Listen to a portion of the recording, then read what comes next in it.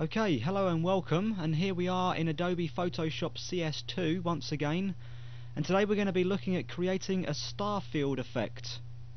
Now I've got two pictures up on the screen right now, and as you can see, the first one is a picture looking up at the Calgary Tower in Calgary, Canada, and you can see a nice blue sky in the background. This is going to be our starting point for creating our effect. Now if I close that image, you'll be able to see our finishing point. This is one I prepared earlier, so to say, and you can see it's the same picture but with a spectacular star-filled galaxy of a sky in the background of the tower. And we're going to take a look at creating that effect with little more than a few filters and colour adjustments. So if we revert back to the original image, uh, the first thing we need to do is to get rid of that sky um, so we can replace it with our own. And I'm going to do that with the Magic Wand tool today. I'm going to set a tolerance of 65 pixels and make my selection and that's just about perfect. I'm going to zoom in and select the remain, remaining clouds just making sure they're selected and we can do that of course with the add to selection box highlighted Now I need to make sure that the selection outline isn't completely solid so I'm going to go to select feather and just enter a value of 1 pixel. Um, press OK. Now I'm going to hit delete on the keyboard to lose the sky. So now we need to create the stars and we do that first of all by creating a new layer just click this icon here and we need to fill that layer with black. So if we select our paint bucket tool and then make sure the foreground color is set to black by clicking the small icon here and then clicking inside our image. Now we need to make sure that our image is displayed at 100% on screen so we can see the details in the stars and then go up to filter noise and the add noise command now you'll need to set the noise value to 25, make sure the Gaussian option is selected, and then make sure that the monochromatic option is ticked to confine our noise, or stars I should say, to grayscale pixels. Click OK. Now we need to go back to Image, Adjustments, Brightness Contrast, and here we need to set the brightness value to minus 100 and the contrast level to say about 80 click OK and we get a pretty nice star-filled sky.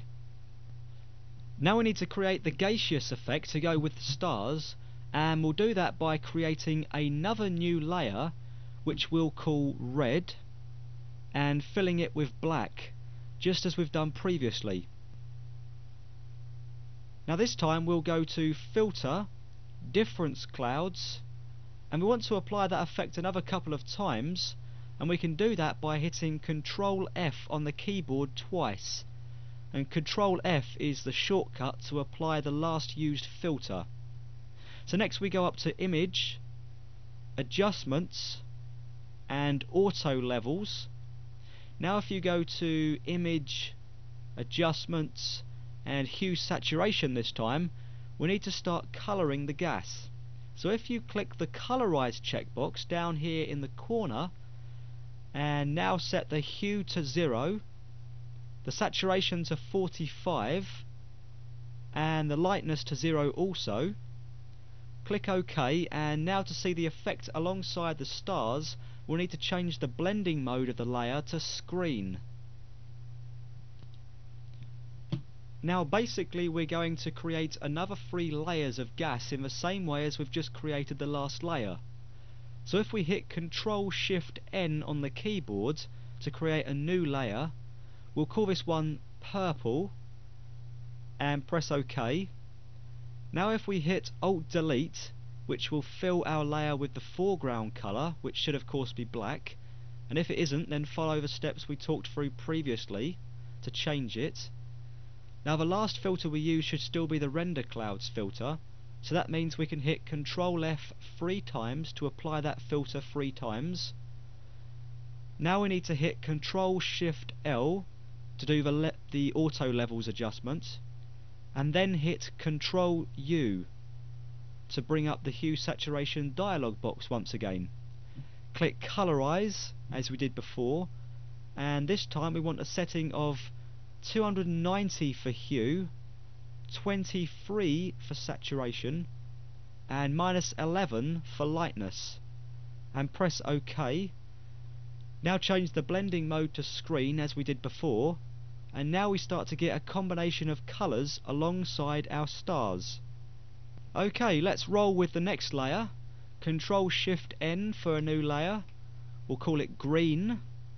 Press enter hit alt delete to fill the background with black once again, hit Control F three times for our difference clouds filter, Control Shift L for auto levels, and then Control U to bring up the hue saturation.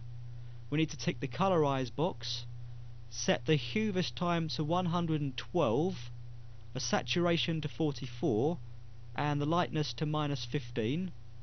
Click OK and change the blending mode once again to screen and this time change the fill to about 40%. Cool. Now the last colour, hit Control Alt N and call the layer yellow. Hit Control Delete to fill with black. Control F three times to apply our filter. Control U, click colorize and set the hue to 45 the saturation to 73 and the lightness to 0 press OK change the blend mode to screen and the fill to about 40% once again. Now I'm going to go back to the original layer here and drag it to um, the top of the layers palette Finally, with the active layer, the tower layer selected, I'm going to go to Image, Adjustments, and Brightness Contrast. And I'm going to lower the brightness of the tower to minus 60 say, and click OK, and that's going to give us a shot that looks like it's been taken after nightfall. And here we have our final image the Calgary Tower with a spectacular star-filled galactic sky in the background. Now we can switch on or off some of them colours to give us different effects, like switching off the yellow and green layers might suit the photograph better. It's a matter of personal taste I guess. The other thing you can do is to add a lens flare effect by going to Filter, Render and Lens Flare and you can play around with the different settings that are available in that dialog box. And I should just mention that in the prepared image I showed you earlier I had dragged the stars layer to below the background layer taken my eraser tool lowered the opacity to about 25% or thereabouts and just dabs away at some of these stars at the bottom of the image to give it a more perspective feel. I'd also, above the green layer, added an adjustment layer, which was the gradient adjustment, and I'd gone for a linear 90 degree gradient at a scale of 150%. I just thought that would improve the reality of the image. So now you have an understanding of how this effect is created and I'd urge you to play around with some of the settings to see what you can come up with. Sometimes a slight change can have a dramatic impact on the graphics you're creating. Well I hope you found this tutorial helpful. Thanks very much for watching.